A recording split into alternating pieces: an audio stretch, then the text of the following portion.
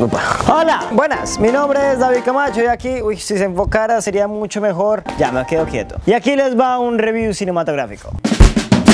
Ayer me fui a ver una película colombiana que se llama Pájaros de Verano. Si ustedes me siguen en mi cuenta de Instagram se habrán dado cuenta que les estuve preguntando si les interesaría que hiciera un videoblog hablando sobre esta película. Pájaros de Verano es la cuarta película de la dupla de Ciro Guerra y Cristina Gallego, quienes nos trajeron anteriormente películas como La sombra del caminante, Los viajes del viento y la famosa El abrazo a la serpiente, que recordarán fue nominada a un premio Oscar el año antepasado. La película se sitúa entre finales de los 60s y principios de los 80s en el territorio de La Guajira, que queda hacia el nororiente del territorio colombiano. Y nos cuenta la historia de una comunidad guayú que se enfrenta a lo que la historia llamó la bonanza marimbera. Y cómo a lo largo de este proceso se empiezan a perder ciertas costumbres, ciertos elementos que van muy arraigados a sus raíces y nos pone a pensar muchísimas cosas. Cuando le comenté a mi abuela la sinopsis de, de esta historia, me dijo, ah, pero es que yo no quiero ir a ver otra película de narcotráfico. Incluso me llegó a decir, ay, es que también las películas colombianas son muy lentas. Y se llevó una sorpresa cuando la vi saliendo de la sala, estaba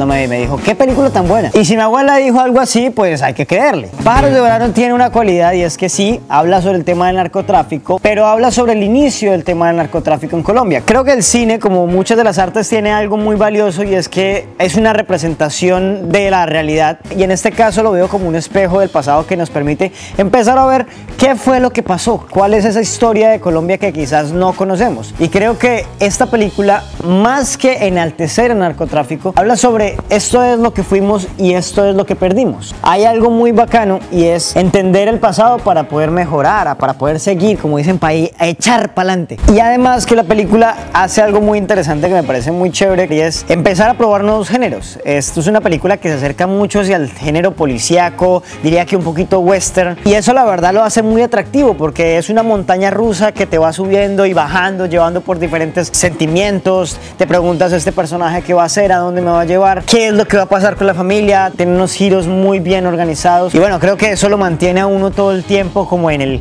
quiero ver más, quiero conocer más, quiero entender mucho más. Mi cámara se descompuso, no pude terminar de grabar el videoblog y ya me cogí la noche. Quiero agregar que la película es muy rica visual y sonoramente. Nomás escúchense este soundtrack.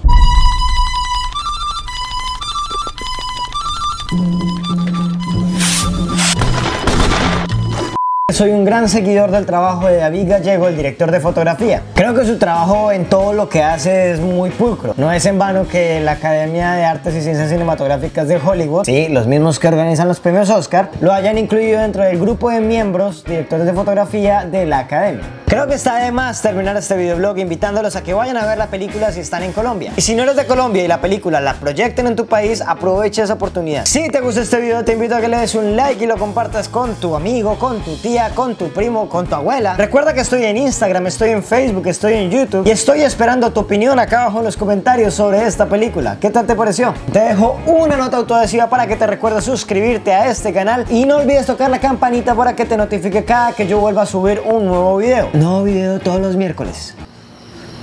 En ocasiones los jueves. Que tengas una increíble mañana, tarde o noche. Mi nombre es David Camacho y hasta un próximo video. Chao pues.